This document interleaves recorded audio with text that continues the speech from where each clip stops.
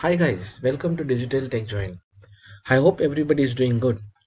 And in this video tutorials, I'm going to learn how to create SQL Azure SQL Server and then we are going to create a database on that server and finally we are going to use SQL query language to create table, insert record and finally fetch the records. Now before we proceed with this tutorial please note in my channel there is a playlist that is dedicatedly created for users for beginners who wants to learn about azure cloud computing. In this playlist you will find tutorials related to how to use register oneself for a free trial account in azure and understand how azure portal works. And then also uh, teaches about creating database and creating vms working with storage account.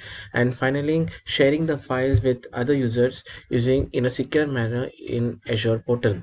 Now apart from that there are other tutorials i recommend users to go ahead and watch these videos before you dwell more into azure cloud computing. Now let's go ahead and now create azure server and the database in uh, using the azure portal. So we go to our azure portal.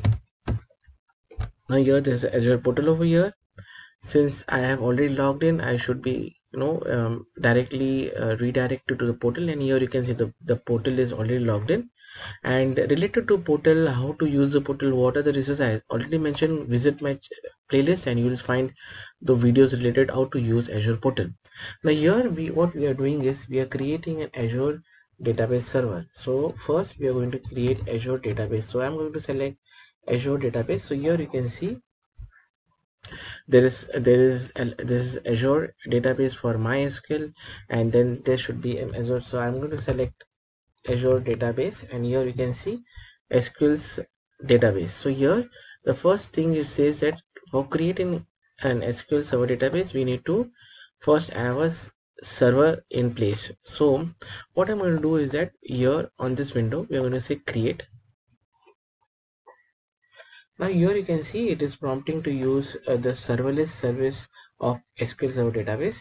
Now you must be wondering uh, why do uh, why do, why I'm not creating a serverless uh, SQL Server database instead I'm setting up a server and then I'm creating a database on the server. So the serverless as well as in, uh, the dedicated uh, SQL Server database both have their own pros and cons. Now let me just highlight you before we proceed what what is the advantage of uh, the method that i am using. I am creating a server sql server and then on top of that i'm creating a database. Now why i'm doing that and why companies do that?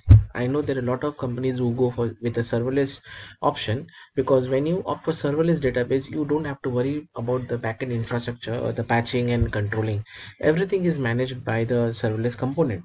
But we definitely go with a dedicated SQL server and then create a database because of some reasons. Those are first of all, when you're creating a database server and the database, you're getting much control on, on the configuration, the environment and the security settings. Second, customization. Sometimes what happens is that some companies have a specific requirement or configuration that cannot be accommodated by serverless service so by having a dedicated instance of the server, they can do those configuration. Third is the cost. Now it, it doesn't mean that serverless uh, you know as uh, less capability of the model of pay as you go. But there are sometimes uh, there are instances where you when when you book for any sql server and for a long term if you have a long visibility and you have a stable requirement then definitely uh, having a sql server uh, is more cost effective than going for a serverless service. Third legacy system. Some companies may already have an existing sql server installation and database that they prefer to continue managing rather than migrating to the serverless service. So that is something that you can consider. Third is finally integration. So sometimes what happens companies with existing on-prem infrastructure or specific integration requirement setting up their own sql server allows for easy integration with the existing system and the processes. Finally obviously if you have your uh, expertise in-house expertise who are very expert in you know managing the administrative tasks of a dedicated sql server then definitely you will try to leverage those skill set and you know uh, set up your own server in azure. So overall uh, the decision to use serverless service versus managing your own server depends on various factors including control customization performance cost existing infrastructure and compliance requirement and internal expertise. So having explained you why people go with a serverless and why uh, uh, sometimes companies go with a dedicated uh, server i i hope that you that clears your understanding. Now let's go ahead. So this is the subscription which is Digital TechJoint subscription plan. In the resource group i'm going to select digital tech tech join tutorial. Now here is the database. I'm going to say database name is db1 okay? So db1 is my database name server. Now if you can see there is no server defined. Now here is where we are creating a dedicated server. So i'm going to click on create. And this will be my server name which will be sql server. And this is Digital TechJoint. This is a unique uh, so this is this is a server sql server Digital TechJoint. And location i'm going to select uh, asia. And this will be south. So i'm just uh, checking out the okay. So this is asia and let me just check. Asia okay south india. Okay this is the location i've selected.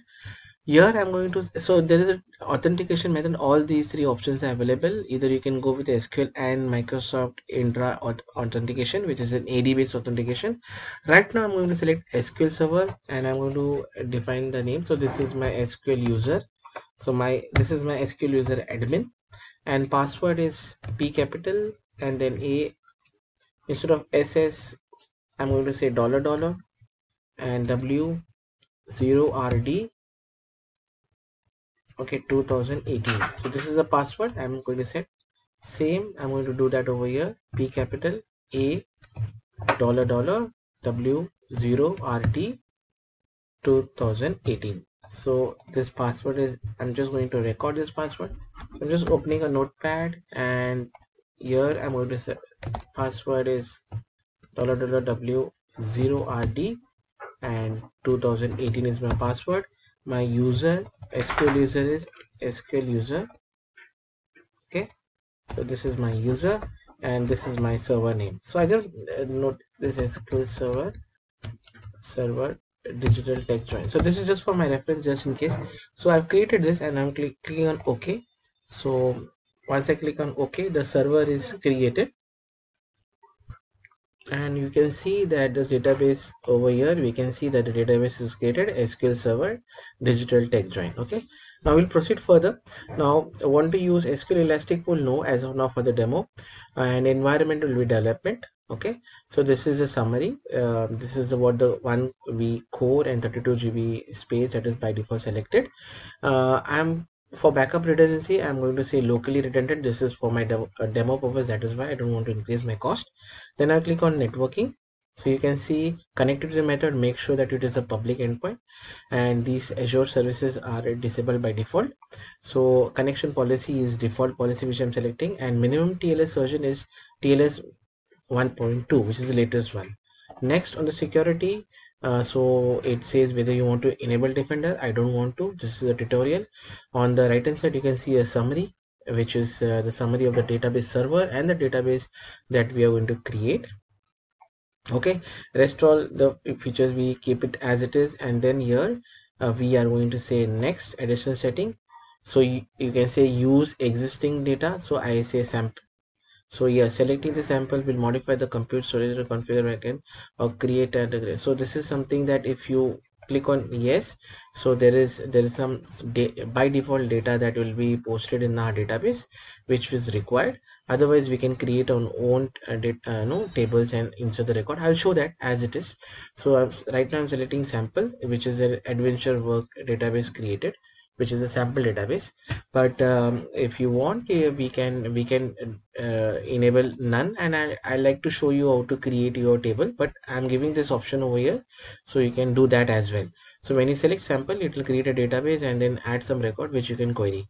Uh, but I would like to do it from scratch. So I'm selecting none and this is a collection that is by default okay? And um, after that this is maintenance period by default 5 p.m to 8 a.m and then we click on uh, the tags. We can say uh, server sql server and you can add the value. My first database server okay? And then i click on uh, create and review and create. So it is get creating the database uh, the same can be now click on this is a summary. It showed you so now you can see on your notification panel the the services the resources is getting deployed. It's they're deploying the server and the database that uh, we just created. So while it is taking time we'll just wait for a couple of minutes and you should be able to see uh, it is completed over here. So once the server and the database is created we will access it uh, using our portal azure portal. Connect to the database create a table insert some record and then fetch the, some details as well. We will also go through the properties of the database and the server that will be created. Once the database is created over here once the server is there and the database is there definitely and then you can definitely you know uh, uh, connect uh, from your uh, local uh, uh, setup. And also you can use the same connection string in your application that can that could be your .NET or it could be Python in any other you know, front-end application system so it also gives you the connection string for different application type that we will see once the resource is deployed. Yeah so the the resource is deployed. You can see the screen over here. Your deployment is complete. Let's click on go to resource. So once you go to the resource you can see this is a server sql server digital tech giant slash db1 so this is the database that we had created. Uh, let us do one thing. Let us go to the home page and then select sql server database so here you can see now we are able to list down our database. This is a db1 with the server name. Now i'm going to click on the link. And once you click on the link you can see the database details are here okay which includes your activity log your tag your compute storage your connection string. So i mentioned about the connection string. Here if you click on the connection string you can see the connection uh, connection string is displayed for ADO.NET here you can copy and add it in your application. If you're working with PHP you can see the connection string over here. Similarly Go and ODBC and JDBC connection strings are mentioned. So this you can easily copy and you can add it in an application so that you can connect uh, to your uh, database that is hosted in sql server. Okay? Now let us go ahead and click on the query editor. And here once you click on the query editor it will prompt you to enter the username. And this is a password that we had uh, saved. So we're going to add this password to connect to our database. So which is p capital a dollar dollar W0RD and 2018. So, so this is the console okay that we that will help us to connect to a database db1 let us click on connect. Okay. So once you click on connect you get this request okay? Uh, this error message which says cannot connect to this server because your ip this is your ip okay is not allowing. So here we need to do some uh, setting in our firewall. So here you can see allow ip on the server. So just click on this link and successfully updated your firewall rules. So the other way around is you can go to the firewall setting here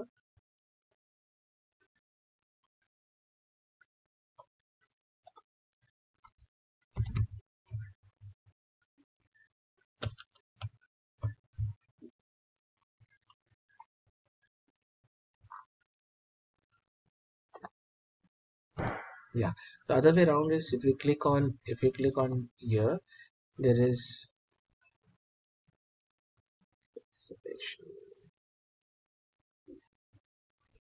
so you just click on the server and once you click on the server you can see the details over here.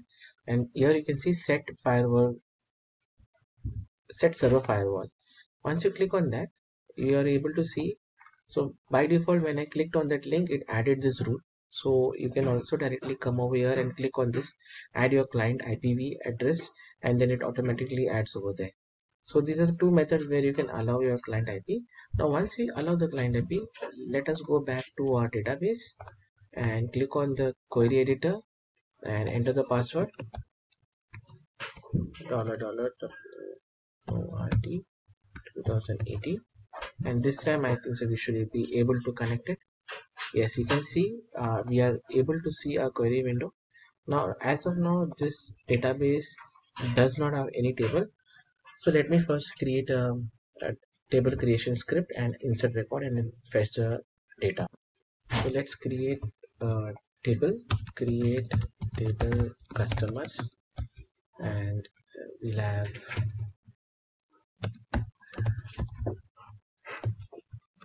okay so this will have uh, id which will be int and then the name so varchar 100 and then mobile.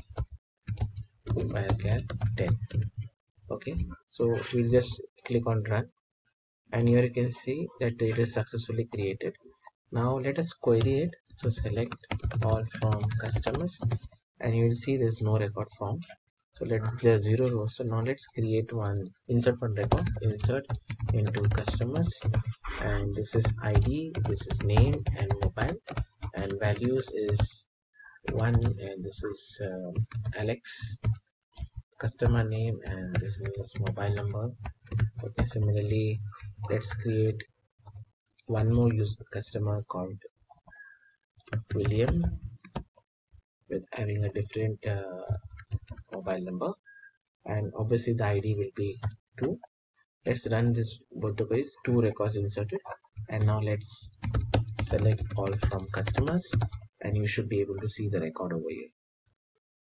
Fine. So this is how you have created your uh, server as well as database. And also you you know use the query editor to query some data. Also mentioned that you can use the same database instance in your application and so that all your data is stored on the azure database server sql database server. So guys with this our tutorial is completed and uh, in this, this, short video we showed how to create a database server as well as create a database uh, on that server uh, and also use your sql query language to create uh, insert and fetch records. I hope you like this video. Please do subscribe my channel and share my channel link with all your friends family and colleague and help me to grow my uh, digital tech channel. Okay and so uh, see you soon. Thank you so much for your time